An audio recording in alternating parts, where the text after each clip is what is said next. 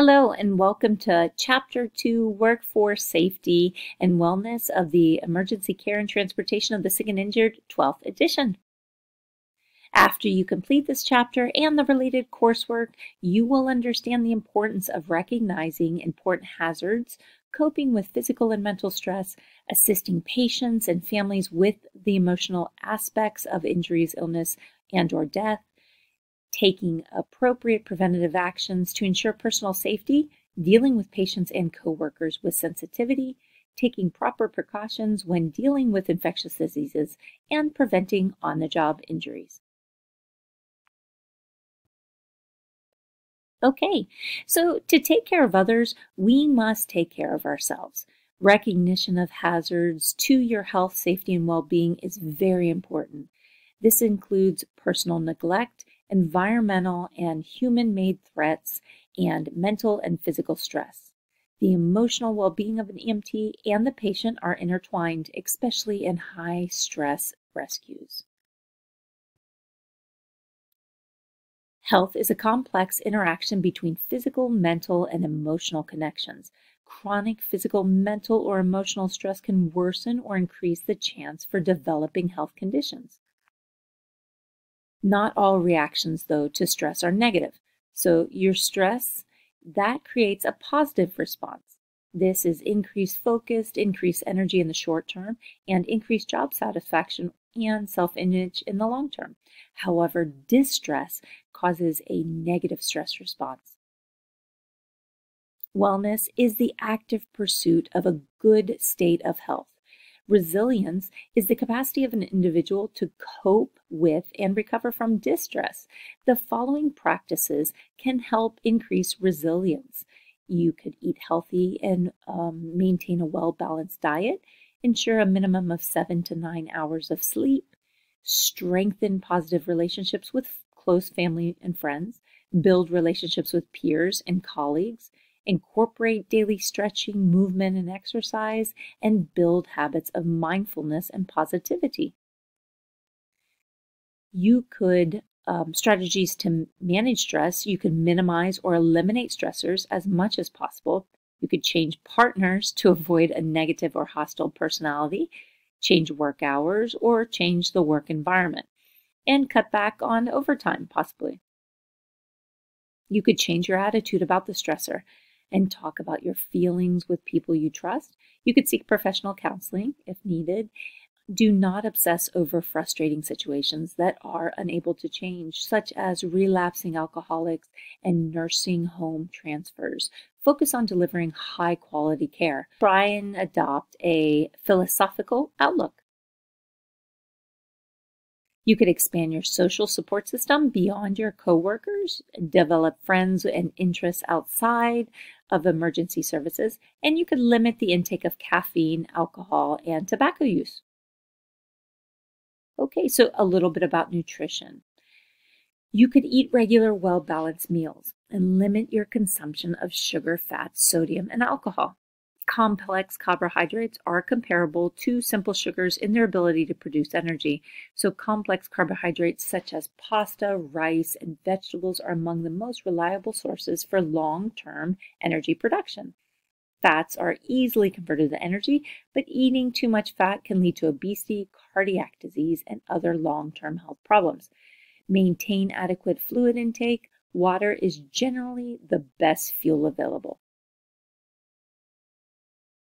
exercise and relaxation. So, regular exercise will enhance the benefits of maintaining good nutrition and adequate hydration. When you are in good physical condition, you can handle stress more easily. Engage in at least 30 minutes of moderate or vigorous activity at least five days per week.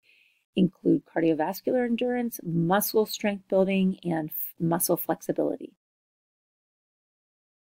the National Sleep Foundation and the American Academy of Sleep Medicine recommends that adults sleep a minimum of nine or seven to nine hours. Half of the EMS personnel gets less than six hours of sleep per 24 hours and report severe mental and physical fatigue. Short term effects of sleep deprivation can lead to medical errors, vehicle crashes, and other harm to patients, bystanders, and other EMS providers. Long term effects of hypertension, sleep apnea, respiratory issues, diabetes, depression, and other medical conditions. Increased stress can contribute to sleep deprivation and fatigue issues. Evidence based guidelines for fatigue management have been developed under the U.S. Department of Transportation and through the National Association of State EMS Officials. Fatigue, sleeplessness should measure and monitor fatigue among EMS personnel. EMS personnel should sh work shifts shorter than 24 hours. EMS personnel should have access to caffeine to save or to shave off fatigue. EMS personnel should have the opportunity to nap while on duty to mitigate fatigue. EMS personnel should receive education and training to mitigate fatigue and fatigue related risks. Recommendations to combat fatigue include getting an adequate duration of quality sleep and where allowed take 20 to 30 minute naps or rest breaks during shift work increase physical activity, be careful about con- caffeine consumption, engage in mental exercise such as having a conversation or playing a game. So, we just talked about recommendations for combating fatigue. Now, we're going to discuss recommendations to improve sleep quality. So, you want to uh, avoid caffeine, nicotine, and other chemicals that interfere with sleep for at least four hours prior to bedtime. Ensure your sleep environment is dark, quiet, and cool. Exercise early, but with enough time to relax before you try and fall asleep. You want to nap early and avoid heavy pre sleep meals and balance fluid intake. Establish a calming pre sleep routine. Sleep when truly tired. Don't watch the clock and keep your sleep schedule as consistent as possible. When possible, expose yourself to natural light during your waking hours to maintain healthy sleep wake cycles. We're going to talk about disease prevention and health promotion next. And so, disease prevention focuses on medical care and prevention to avoid or reduce the effect of disease on the individual. Health promotion is focused on personal practices and social habits to improve one's health. Smoking, vaping, or chewing nicotine. So, tobacco products can lead to cardiovascular and respiratory disease. Smokeless tobacco is associated with cancers of the throat, mouth, and pancreas. Vaping has been shown to cause cardiovascular and respiratory illness and disease. Strategies for quitting products containing nicotine include to create a plan that addresses the challenges that may trigger the use of these products. Set a quit date. Tell a friend, family, or coworker your plan to quit. Remove tobacco and vaping products from your home, car, or work, and talk to your doctor about the other resources that may have may be able to help you quit. Alcohol abuse. And so, acceptable amount of alcohol um, is described to be one drink per day for women and two for men, according to the Centers for Disease Control and uh, uh, Prevention, the CDC. Excessive alcohol use causes about 88 thousand deaths per year in the United States with an economic cost of more than 200 billion per year. Approximately 75% of total cost of alcohol abuse is contributed to binge drinking. So excessive alcohol use may adversely affect the cardiovascular, hepatic, immune, and central nervous systems and may increase the risk of developing cancer of the mouth, throat, breast, esophagus, and liver. And then there's drug use. So both prescription medications and illegal or illicit drugs may be abused or misused. According to the CDC, drug abuse costs the United States more than $190 billion annually in lost work productivity, healthcare, and crime. Many EMS agencies drug test their, their employees for illegal and prescription drugs. Balancing work, family, and health. When possible, rotate your schedule to give yourself time off. You need to take vaccinations, and if at any point you feel stress of work is more than you can handle, seek help. Next, we're going to talk about infectious and communicable diseases. So, an infectious disease is caused by organisms within the body, and a communicable disease can be spread. So, a communicable disease can be spread from person to person or from one species to another. Infection is a risk. Infection risk can be minimized by immunizations, protective techniques, and hand washing. So next we're going to talk about some terminology that's related to the infectious and communicable diseases, okay? So a pathogen is the first thing we're going to talk about. And a pathogen is a microorganism that is capable of causing disease in the host. And then next is contamination. So the presence of an infectious organism or foreign body on or within objects such as dressings, water, food or needles, wounds, or a patient's body. Exposure. So that's a situation in which a person has had contact with blood, body fluids, tissues, or airborne particles in a manner that may allow disease transmission to occur. Protective, personal protective equipment, or PPE, um, protects it's basically a protective equipment that an individual wears to prevent exposure to a pathogen or a hazardous material. So, routes of transmission. The different routes of transmission in which an infectious disease can spread are direct contact, indirect contact, such as a needle stick, airborne transmission, like, for example, sneezing, foodborne transmission, and that's contaminated food, and vector-borne transmission. An example of that would be flea or a mosquito. So, risk reduction and prevention for infectious and communicable diseases. The Occupational Safety and Health Administration, so OSHA, develops, publishes, and enforces guidelines concerning reducing hazards in the workplace all EMTs are trained in handling blood-borne pathogens. The CDC has developed standard precautions for healthcare workers to use in preventing or in treating patients. Standard precautions are preventative measures designed to prevent healthcare workers from coming in contact with objects, blood, body fluids, and other potential risks that can lead to exposure of germs. The CDC recommends from 2016 uh, is to assume that every person is potentially infected or can spread an organism that can be transmitted in a healthcare setting. And so apply infection control procedures to reduce the infection. OSHA refers to the same concept as universal precautions. So you, you'll see that used interchangeably. Notify your designated officer if you were exposed. Donning and doffing full PPE. So putting on is donning and taking off is doffing. The full complement of PPE in a consistent sequence is essential to reduce the risk of contamination. The most common component of PPE are a mask, eyewear, or full face shield, gloves, and a gown. Proper hand washing, that's the simplest yet most effective way to control disease transmission. Wash hands before and after patient contact, even if you wear gloves. Okay, so gloves, very important subject. You're going to wear gloves if there's any possibility for exposure to blood or body fluids.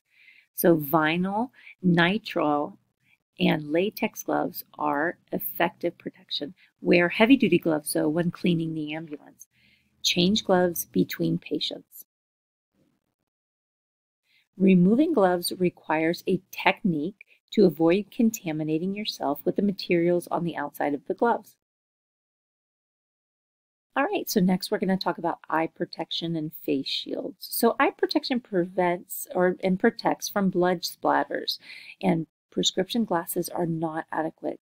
So goggles or a face shield are the best and then there's gowns. So provide protection uh, for extensive blood splatter, and they may be worn in situations such as aerosolized ger um, generating procedures, field delivery of a baby, or some type of major trauma.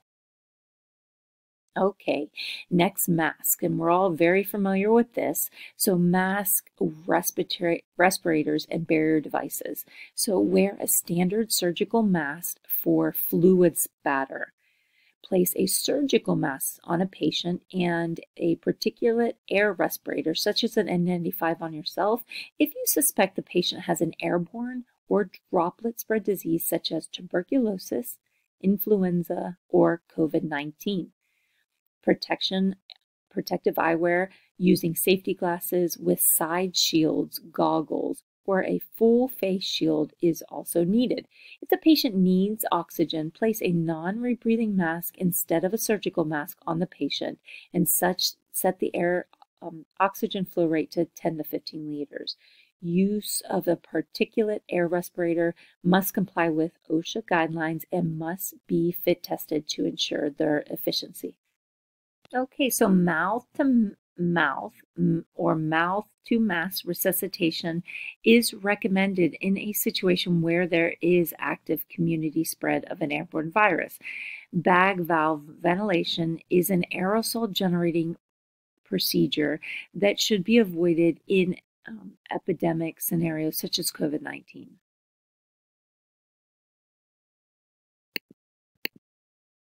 So, sharp stick, uh, disposals, and so proper use of and proper disposal helps to avoid exposure uh, to HIV and hepatitis. Do not recap, break, or bend needles. Dispose of used sharps items in an approved, closed, and rigid container. So, employer responsibilities. The risk of being exposed to a communicable disease is a hazard of the job. You should follow OSHA guidelines and other national guidelines and standards to reduce the risk of exposures to airborne pathogens and airborne diseases. Know your department's infection control plan and follow it. Cleaning and decontaminating the ambulance and equipment is important. You must clean the ambulance after each run and on a daily basis. Whenever possible, cleaning should be done at the hospital. There is more information about cleaning the ambulance in Chapter 38 Transport Operations. We're going to remove any medical waste and it should be placed in a red biohazard bag and disposed of at the hospital. Contaminated equipment, left at the hospital should be cleaned by hospital staff or placed in a red bag for transport and cleaning to the station. Use bleach water uh, solution at a dilution rate of 1 to 10 to clean the unit. Remove contaminated linen and place it in the appropriate bag for handling.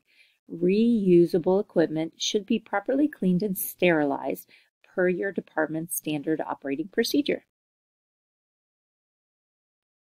And immunity. So even if germs reach you, you are not necessarily at risk for infection. Immunity is a major factor in determining which hosts become ill from which germs. You can be immune or resistant to particular germs. So the definition of immunity is having been immunized or vaccinated and able to recover from an infection uh, or from that germ. A history of all your childhood infectious diseases should be recorded and kept on file. This includes chickenpox, mumps, measles, rubella, and whooping cough.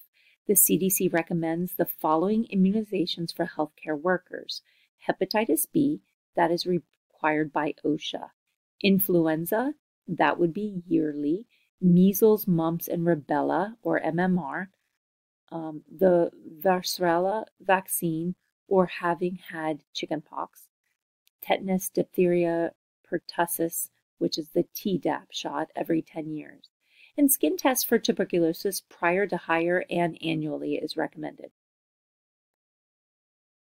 General post-exposure management. So if you're exposed to a patient's blood or bodily fluids, you need to turn over patient care to another EMS provider.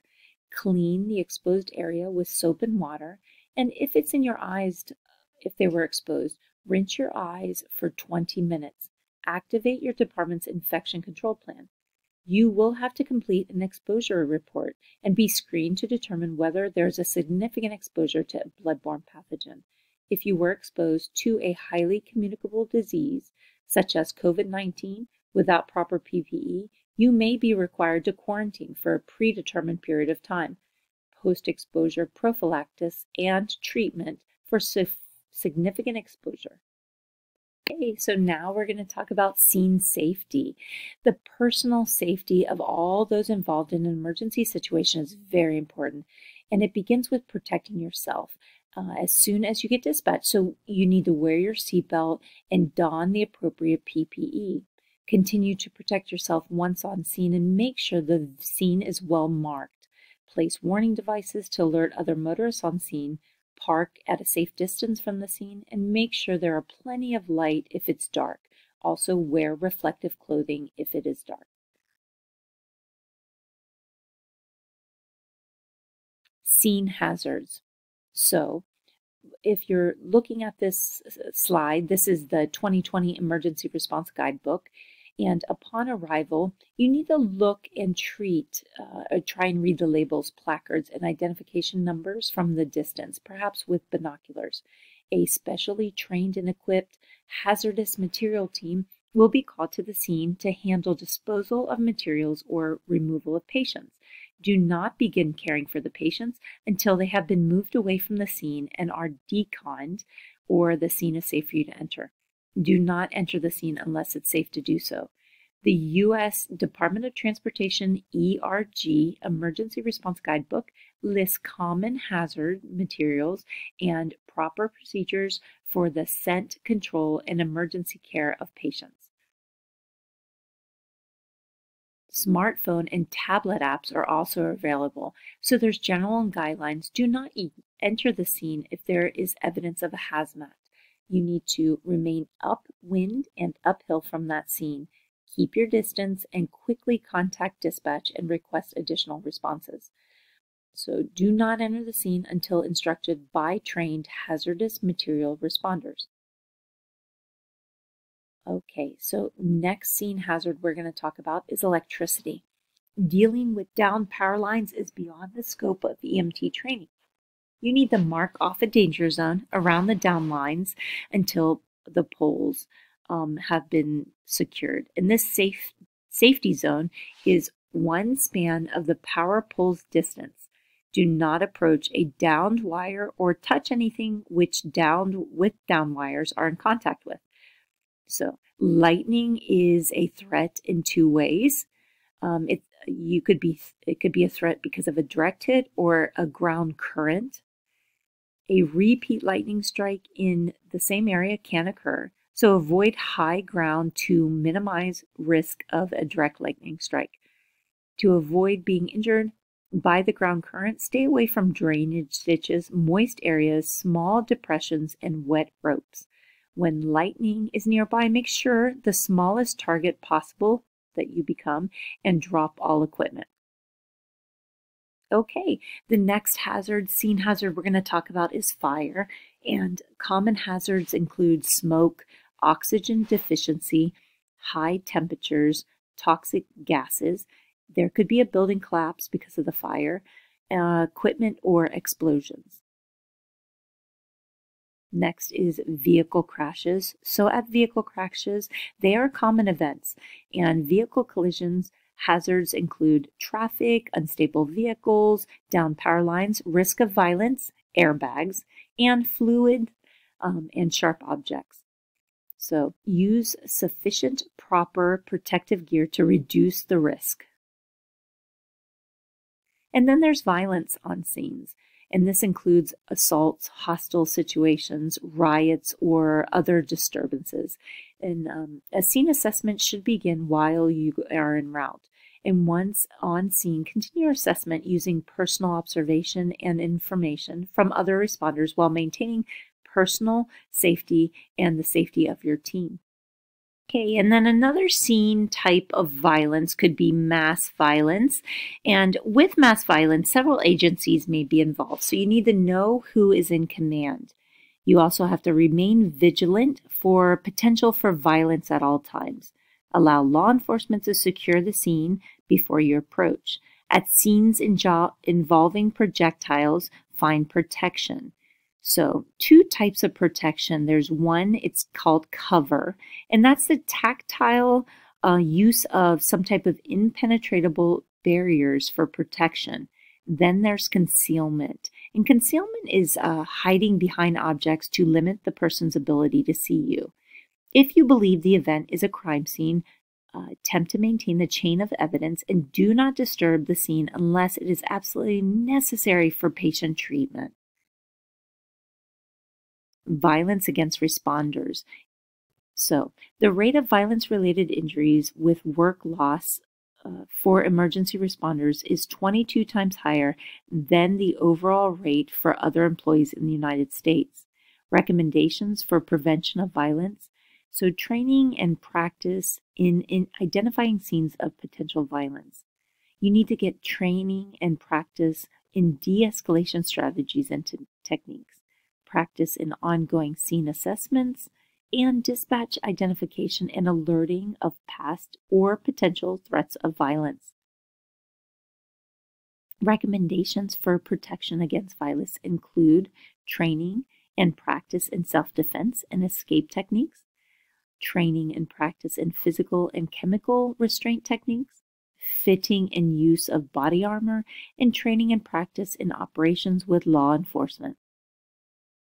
Protective clothing Wearing protective clothing and other appropriate gear is critical to personal safety. Become familiar with the protective equipment available to you.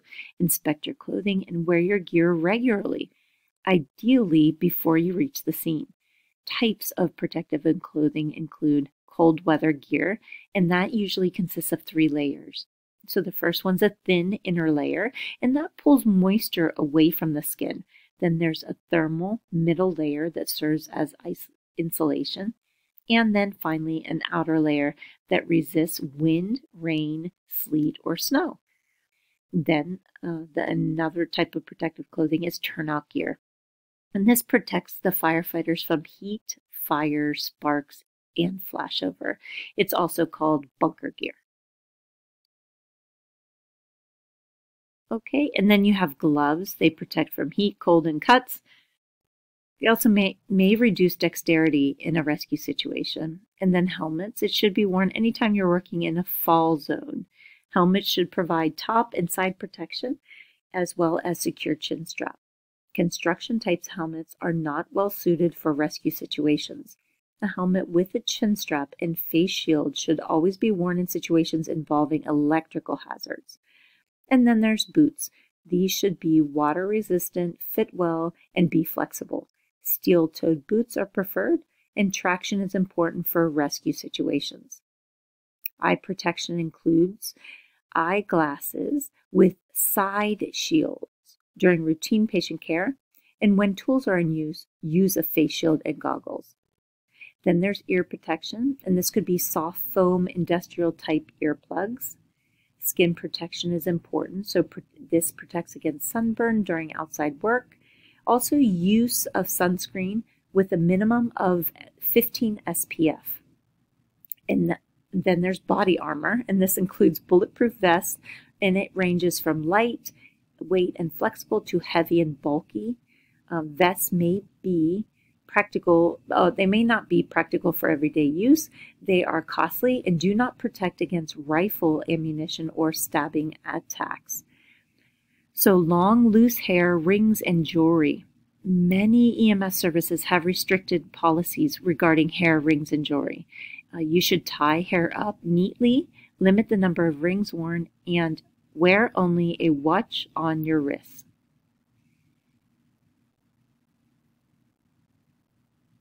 Okay, so the next section we're going to start talking about is caring for critically ill and injured patients. And so a patient needs to know who you are and what you're doing. So let the patient know that you're attending um, to his or her immediate needs. Avoid making unprofessional combat comments during resuscitation and treat all patients with dignity and respect. Techniques for communicating with critical patients include avoid sad and grim comments. And these remarks about a patient's condition may increase the patient's anxiety. Orient the patient. So use brief statements. Orient the patient to his or her surroundings. You need to be honest. So decide how much information your patient can understand and accept. Allow the patient to be part of the care being given. Also allow for hope. If there's the slightest chance of hope relating, transmit that message to the patient. and locate and notify family members. So assure the patient that you are uh, that you will take care of notifying the appropriate people. Critically uh, injured children. So children should be cared for as any adult would be. It's important that you that a relative or responsible adult accompany the child to relieve anxiety and assist in care as appropriate. So, coping with the death of a child. The death of a child is a tragic and dreaded event. Help the family through the initial period of death. And you're going to be helping family members. So, acknowledge death in a private place. Shock, denial, and disbelief are common emotions. If circumstances allow, let the parents hold the child. Use your best judgment to determine if this is appropriate. Let the family's actions be your guide. The family may want to see the child, and you should allow them to do so. So prepare the parents for what they will see. Do not overload the grieving parents with information. Okay, so death and dying. So death is likely to be either quite sudden or after a prolonged terminal illness. The EMT will sometimes face death. The grieving process um, has stages. In the first stages, it could be denial, um, anger, hostility, bargaining, depression, or acceptance. So, what can the EMT do? You can ask the patient and family if there is anything you could do to help. Reinforce the reality of the situation. You need to be honest with the death and dying. Do not say you know how the patient or family feels. Let the patient or family members grieve in their own way. So this table shows a slide suggesting words of comfort when responding to grief. All right, so next we're going to talk about some stress management. And of course, you probably have suspected that EMS is a high stress job. It's important to know the causes of stress and ways to deal with them. So stressors, they include emotional, physical, and environmental situations. There are general adapt adaptation syndromes. And so alarm response to stress, then the reaction and resistance to stress, and then there's recovery or exhaustion from that stress. Physiological manifestations of stress. So that creates an increased respirations and heart rate, increased blood vessels, dilated vessels near the skin surface, dilated pupils, tense muscles, increased blood glucose levels, and perspiration. It also decreases blood flow to the gastrointestinal tract.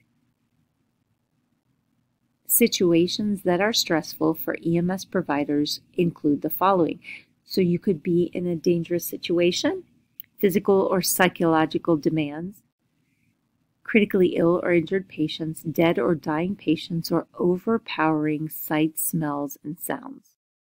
Multiple patient situations, angry or upset patients, families or bystanders, and unpredictability and demands of EMS cause stressful situations. There are stress reactions, so there is an acute reaction, and that can occur during that event. There's a delayed reaction, and that manifests after the stressful event. And then there's a cumulative stress, and that's a prolonged or excessive stress. So there's physical symptoms of stress, and that could include fatigue, changes in appetite, GI problems, headaches, insomnia, irritability, inability to concentrate, or hyperactivity or underactivity. There's physiological symptoms, and that could be fear, a dull or non responsive behavior, depression, guilt, or oversensitivity, anger, irritability, and frustration. Critical incident stress is brought about by acute severe stressors. These could include mass casualty incidents, serious injury or, or traumatic death of a child, crashes with injuries caused by an emergency provider while traveling to or from a call, and death or serious injury of a coworker in the line of duty. They may develop after a person has experienced a physiological distressing event. And so this is post traumatic stress disorder. And it's characterized by re experiencing the event and over responding to stimuli that you recall from that event. Critical Incident Stress Management, or also called CISM, is used to help providers relieve stress, and this can occur formally or at an ongoing scene. Trained CISM professionals facilitate they facilitate defusing sessions and they're held during or immediately after the event. Also, debriefing, and those sessions are held 24 to 72 hours after the event. An important rule is not to turn the debriefing session into an operational critique. If CISM or um, critical incident stress management is not an option, private counseling by a mental health professional may be preferred. Then there's burnout. So, burnout describes a combination of exhaustion, cynicism, and related performance resulting from long term job stress. The effects of well being of an EMT, along with that of his or her colleagues and patients, can result in an increased major medical errors, increased rates of health care associated infection, and increased patient mortality also contributes to decreases in work morale, overall work effort, effective teamwork, patient satisfaction, and an increase in job turnover. Then there's a thing called compassion fatigue. And what happens, it's common among healthcare providers. It's also known as a secondary stress disorder. It's characterized by gradual lessening of compassion over time. The symptoms are high absenteeism, difficult relationships with colleagues and coworkers, inability to work in teams, aggressive behavior towards patients, strong negative attitudes towards work, lack of empathy for patients, judgmental attitude towards patients, preoccupation with non work issues while on duty, and other symptoms of increased stress.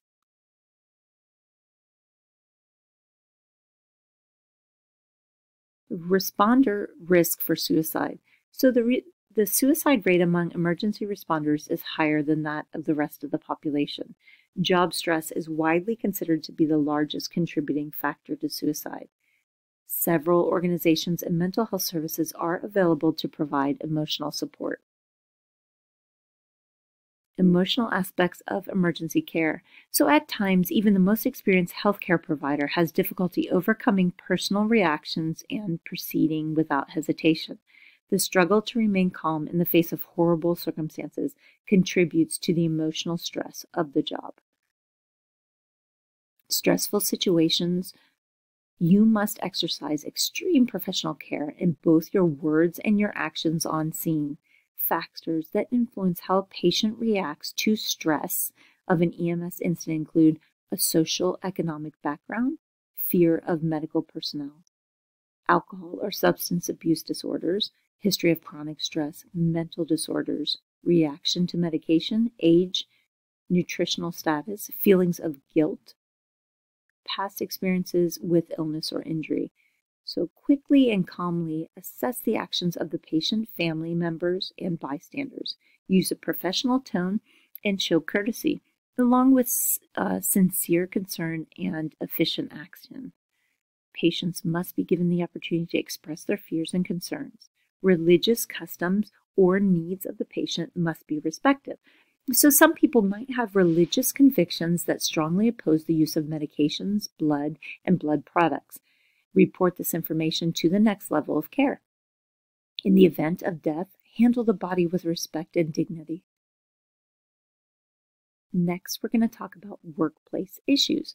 So, uh, cultural diversity on the job. You're expected to work alongside coworkers with varying backgrounds, attitudes, beliefs, and values, and to accept their differences.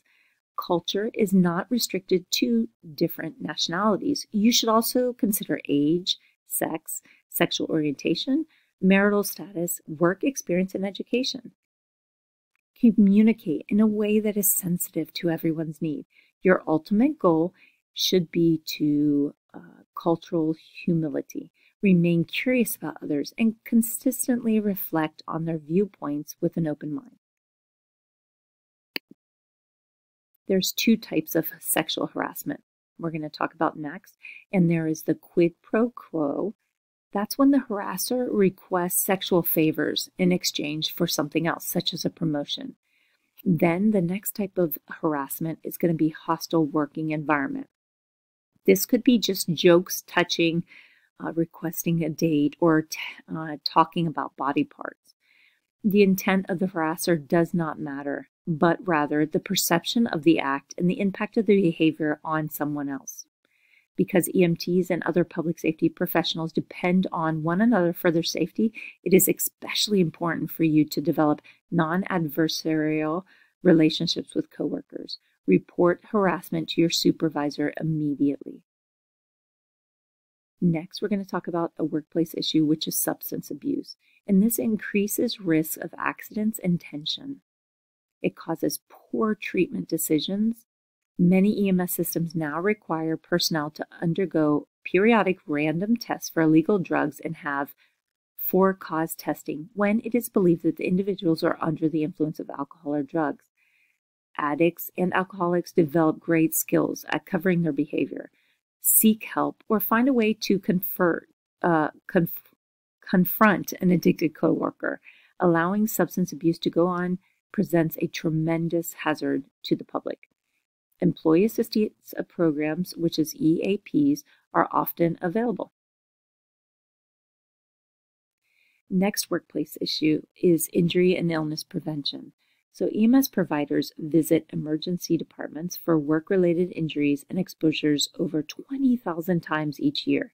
Each program should include interrelated and interdependent elements. And this is management, leadership, worker prevention, hazard identification and assessment, hazard prevention and control, education and training, and program evaluation and improvement. Okay, so now we are at the review um, questions for the chapter, and uh, I'm just going to go through them with you. So, um, the first one, number one, is a disease that can spread from person to person is known as. Okay, so communicable disease. This can spread from one person or a species to another. The most effective way of preventing the spread of disease is very simply, we're living through it right now, and it should be hand washing. So, according to the CDC, the most effective way of preventing the spread is through hand washing. And two, while caring for a trauma patient, the EMT has blood splash into their eyes. This is an example of It's an example of an exposure. So, an exposure occurs when a person comes in contact, direct or indirect contact with blood or other body fluids. Protective measures that prevent healthcare workers from coming into contact with germs are referred to as, you should know this, it's going to be standard precautions. So, this prevents healthcare workers from coming into contact with germs. When is the second stage of response in the stress response known as the general adaptation syndrome? Or what is, sorry, what is the second stage of response? And that is the body typically reacts to stress in three stages there's the alarm response, then there's the reaction, and then there's the resistance, then the recovery.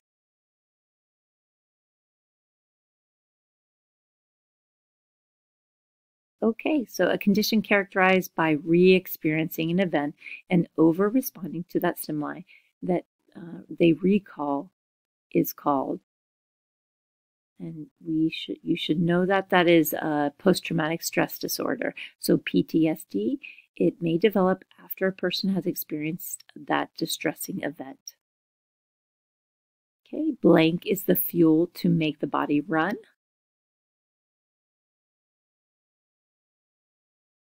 and that is the uh, nutritious food. I would have said sleep, but the physical exertion and stress, they require high energy output. So C. So food, food. Which, den- which stage of grieving commonly results in blame? And that is going to be B. So the person may lash out at the EMT or blame the EMT for the unfortunate event. So it's going to be anger and hostility. Okay, now number nine, placards are used on, and uh, this is the one about um, the transport. So the placards are used on buildings and transport vehicles. And it shows you right there. So buildings, transport vehicles. Okay, the five most common hazards associated with a structural fire include, all right, so oxygen deficiency, we know smoke, there are a lot of temperatures, gases, and building collapse. I think it's A. All right, so that's the five. So it's structural fire is smoke, oxygen deficiency, high temperatures, toxic gas, and building collapse risk. Okay, and thank you very much for joining us for chapter two. Um, hope you have a good night.